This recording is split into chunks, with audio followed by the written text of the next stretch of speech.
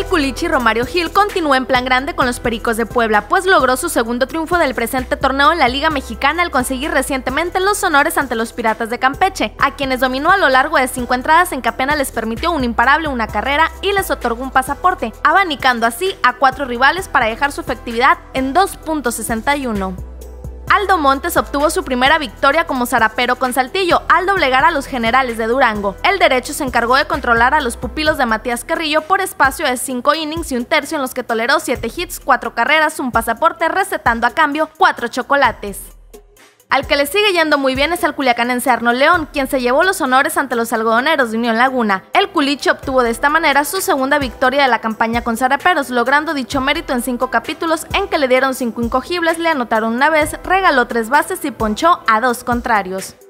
Chad Godán sigue apagando fuegos con los Leones de Yucatán al sumar su cuarto rescate. Asimismo, logró su primera victoria del segundo torneo al dominar a los Bravos de León. Otro que ha lucido en el bullpen es Gerardo Sánchez, pero con los tecolotes de los dos Laredos, pues en cuatro salidas todas de un rollo solo le han conectado un imparable y ha dado una almohadilla en sus más recientes actuaciones. Anthony Vázquez adjudicó el triunfo con los Reno Aces enfrentando a los Round Rock Express. El zurdo tejano sacó la casta por la sucursal AAA de los Diamondbacks tirando cuatro entradas en las que le atizaron par de imparables una anotación retirando a dos por la vía del ponche. Oliver Pérez continúa magistral, sencillamente imponiendo su experiencia con los indios de Cleveland. En sus últimas tres salidas le dieron únicamente un hit poncho a par de contrarios, manteniendo así su efectividad en 1.50.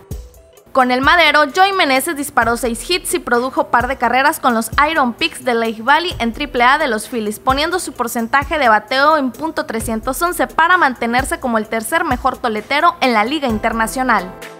Ryan McBroom dio nueve imparables, sacó a volar la esférica con su treceavo jonrón e impulsó tres carreras bateando así para .310 en AA de los Yankees de Nueva York.